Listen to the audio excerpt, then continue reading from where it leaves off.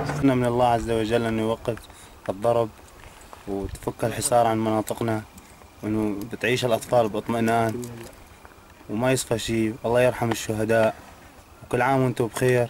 نحن فريق آه، الدفاع المدني في قطاع المرج. نحن متابعين مسيرتنا لآخر. نقطة دم بعروقنا. وإن شاء الله آه، يجعل العيد علينا بالأمن والسلام.